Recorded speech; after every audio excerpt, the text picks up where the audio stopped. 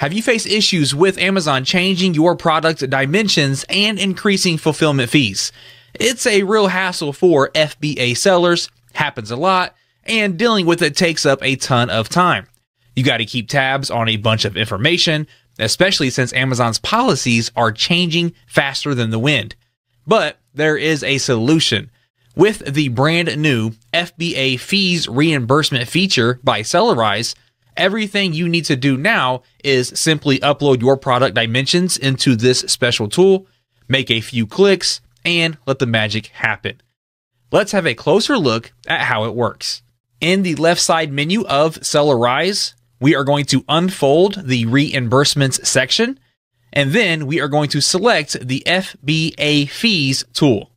Now, there is also a separate tool for lost or damaged inventory and shipments, and you can see that here.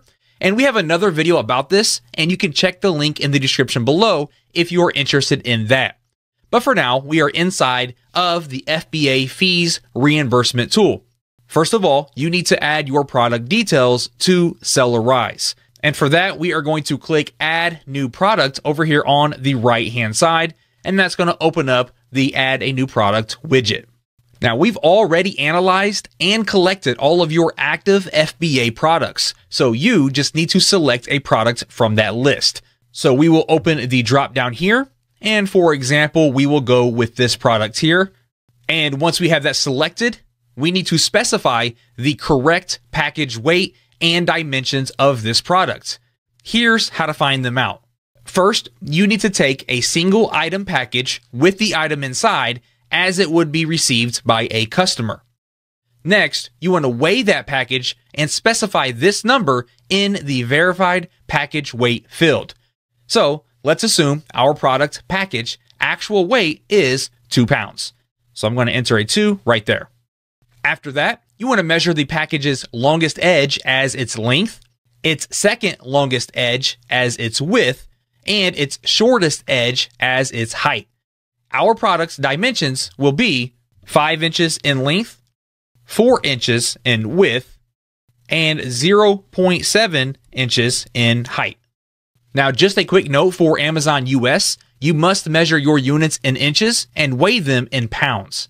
So if you are used to the metric system, converting those numbers can be a real headache. But with Sellerise, you can hit up the switcher right here, punch in your product details in kilograms and centimeters, and boom, the tool will convert those values for you after you add the product. Now, how cool is that? You can also specify your product packaging here. It's optional and it doesn't influence the fees calculation, but we recommend setting it as it will help you submit remeasurement cases faster.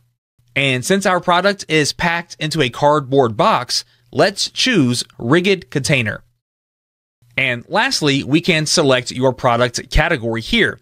In most cases, you'll have a pre-selected category. Actually, Sellerise will do that for you based on the information from other reports.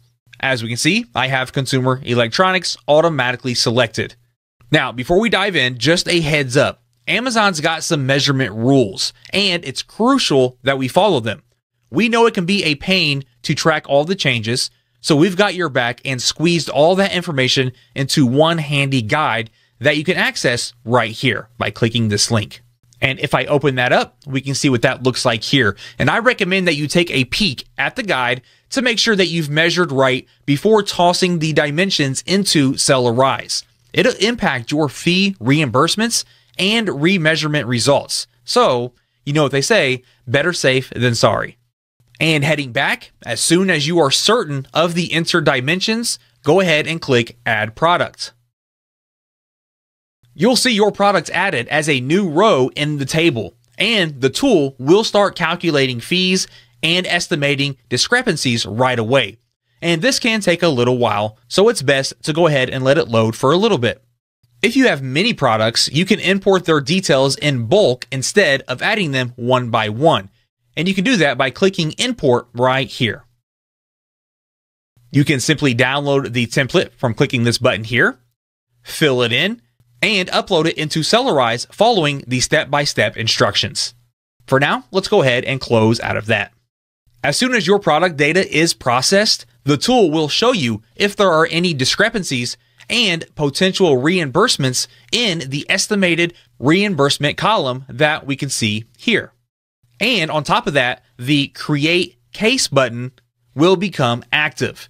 This means that you can send a remeasurement request to Amazon, and if they confirm their mistake, you'll be able to ask for a reimbursement. So let's go ahead and do that now and click on Create Case. First, the tool will ask you to ensure that you've provided the correct product dimensions and remind you that Amazon has the final say in the result of any remeasurements. So double check your product information on the right. Once you are sure, read and tick both checkboxes on the left. Once we've done that, we're going to click on Next. On step two, you are going to click on the Dimensions Remeasurement page and that's going to open it on your Seller Central in a new tab. Next, you want to copy your FN SKU here by clicking this option here to copy. And then you want to paste it into the corresponding field on Seller Central shown on the left-hand screenshot.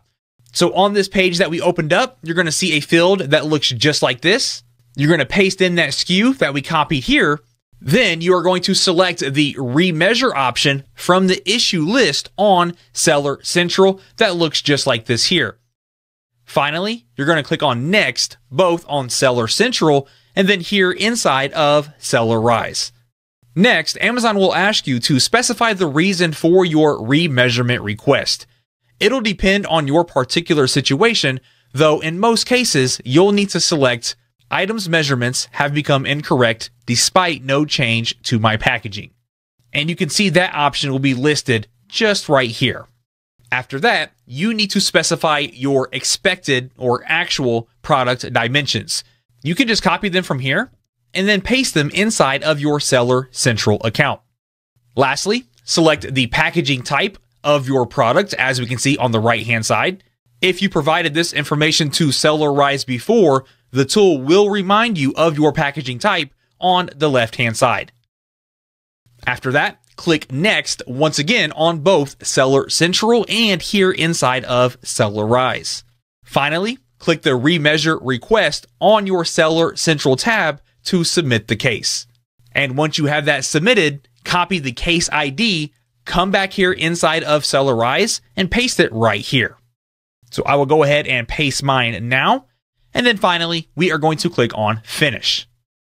Once we do that, you'll receive a success message and the Create Case button will now turn gray for this product right away. Now, Sellerise will track the status of this case for you and you'll be able to access it inside of the Cases tab up here at the top right. Inside of here, you can see some important case details like how and when the case was opened, its status, pending, reimbursed, etc. We can even filter the cases, we can export them into an Excel file, and to learn more about any particular case that you have, you can click on the View button located here. And inside, you can check additionally how much money you've gotten back from money being reimbursed. And you can see for which orders, as well as read your correspondence with Amazon down here at the bottom. If you need to send a reply, you can click on the case ID here at the top. You'll be redirected to this case on Seller Central right away. All of your actual fee reimbursements will be recorded and stored inside of the History tab over here on the right hand side. However, these are only your FBA fee reimbursements. If you want to get the whole picture of all the reimbursements on your account, including for lost or damaged inventory and shipments, you can open the reimbursements dashboard from the left side menu. So we'll open that up. We will expand reimbursements and we will click on dashboard. Now, regardless of the reimbursement type, you'll see here all the money reimbursed by Amazon for each of your products. And if we scroll our dashboard over to the right a little bit, you'll see all of your FBA fee reimbursements in a corresponding column. And that's it. If you want to learn more about Sellerise reimbursement tools, you can check out the other educational resources that we have in the Help Hub at the top. or you can simply drop a message in the chat down here at the bottom right, and the Sellerise customer care team will tackle any questions that you've got. Until then, cheers.